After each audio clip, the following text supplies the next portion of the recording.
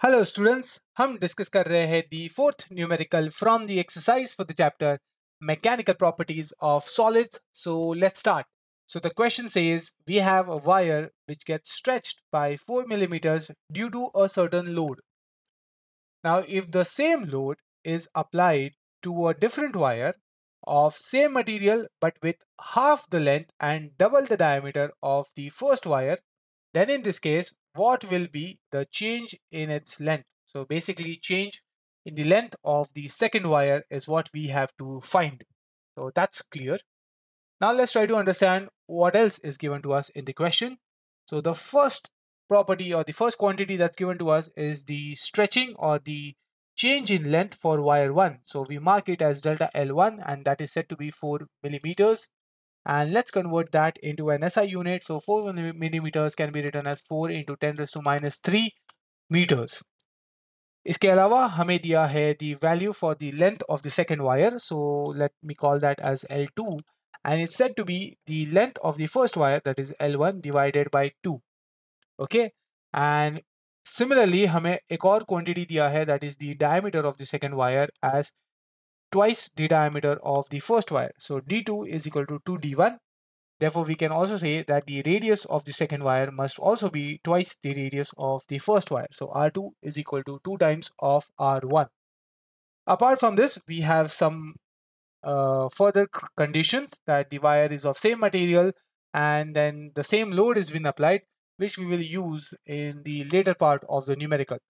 So इसके अलावा और कुछ given है नहीं हमें and using these quantities हमें ढूंढना है the change in length for wire 2 so delta L2 is what we have to find which is unknown to us let's discuss the formulas which can be used to calculate this change in length now we remember the formula to calculate Young's modulus for any wire is force times the length divided by cross-sectional area into the change in length now we know that the wire is of a cylindrical shape so in this term we can upgrade this formula as F into L divided by cross-sectional area, which is the pi r square. So that is the cross-sectional area of a cylinder times delta L. So this is a better formula for us because we have insight about the radiuses of the wire. So we'll be using this formula instead of this formula. Now, from this formula, we can calculate Young's modulus, but that's not our task. हमें ढूंढना है delta L. So what we do is we try to rearrange this formula to get a better formula जिससे हम delta L quite easily calculate कर सकते हैं. So we are rearranging the formula and using this we get a slightly improved formula which will help us calculate delta L better. So from this we can say delta L is equal to F into L divided by pi r square times Young's modulus. So so, हमने ऊपर के formula में Young's modulus और delta L के position को switch किया है। Okay now you can see कि this formula is much better as to calculate our required change in length so calculation में let's try to use this formula so in calculation I write from formula number two which gives us the formula to calculate delta l. So for the first wire change in length delta l1 is the force experienced by wire I call it F1. The original length of the wire 1, that is L1, into pi r1 square, that is the radius of wire 1, times the y1, that is the Young's modulus for wire 1. And I call this equation as equation number 1. Similarly, I also calculate the formula to calculate the change in wire length for wire 2 delta L2 as F2 into L2 divided by pi r2 square because we are calculating the change in length for second wire times the Young's modulus for second wire y2 and we call this equation as equation number 2 and now what we do is we divide both the equations. So dividing equation 2 by 1 and let's see what we get. Okay so let me create the space. Okay so we are dividing equation number 2 by equation number 1.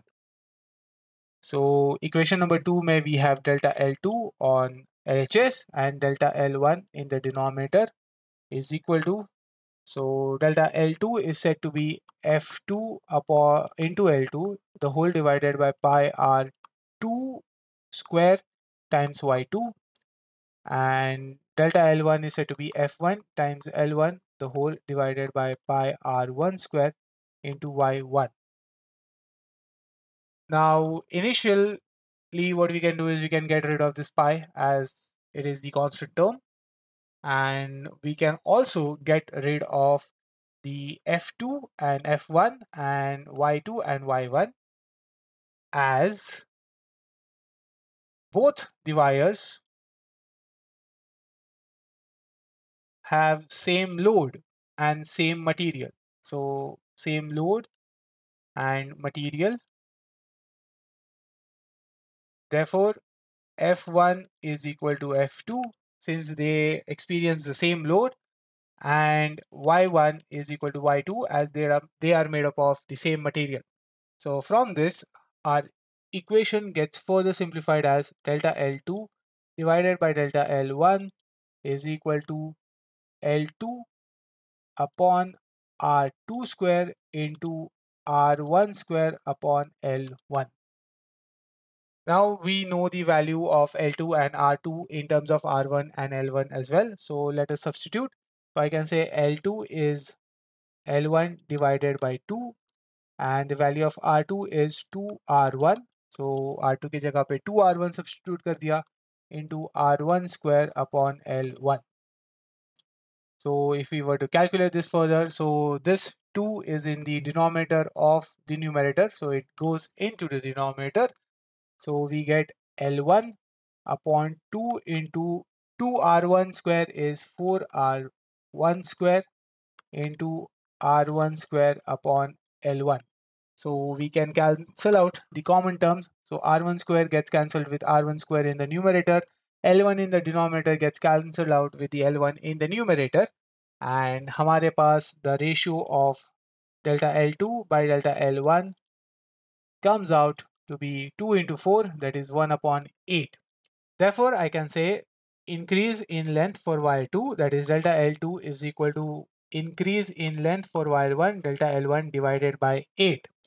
Now the value for increase in length delta L1 for wire 1 is said to be 4 into 10 raised to minus 3 meters. So let's substitute that value here as well. So delta L1 is 4 into 10 raised to minus 3 divided by 8 Therefore, 4 divided by 8 uh, is 0 0.5. So delta L2 is equal to 0 0.5 into 10 raised to minus 3 meters, which can be written as 0 0.5 millimeters. So this is the change in length for wire 2. And that's what we would require to calculate. That is delta L2, 0 0.5 millimeters. And that's it. If you want the PDF of the solution, make sure to check the link given in the description. Have a nice day.